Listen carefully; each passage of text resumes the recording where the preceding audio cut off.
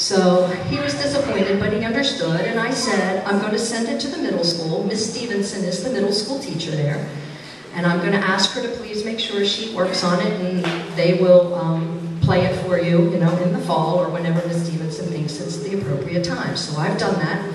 I sent um, a copy of the score and all the parts up to the middle school.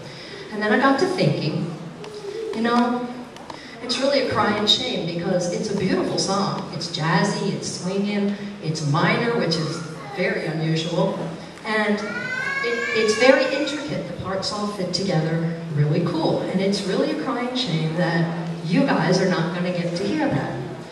So I made a few emails and a few phone calls, and I called in a few favors, and I have some friends here tonight who would like to play that song for Ethan. So Ethan, will you stand, please, and come on up here with me, and I'd like you to meet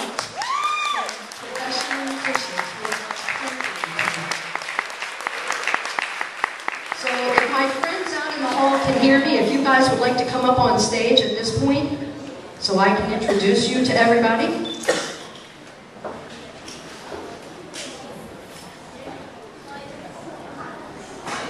And as you can tell by the look on his face, he has no idea we were going to do this. This is a complete surprise.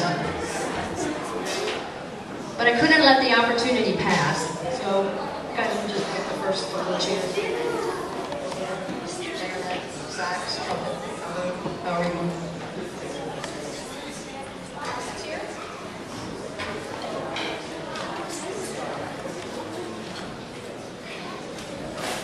And I don't have much lead with my mic cable cord, and I'm afraid, well, maybe I can see if I can stand over here without falling off the stage. My last program, that would be nice.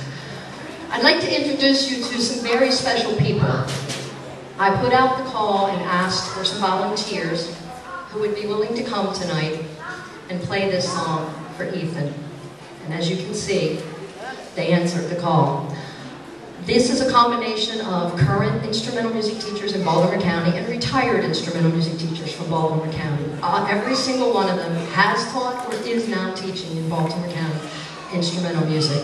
I'd like you to meet Kim Hodgkinson, flute from Pikesville Middle, Chantal Yadish, oboe from Pikesville Middle, Sue Steiner, retired, like me, Sue, Maurice Stellman, retired, Margaret Few, from Rodgers Forge and Wellwood uh, Elementaries, Ted Krachesky, retired, Kristen Trumpler on the bells at Westchester and Halethorpe, and Charlie Higdon, retired.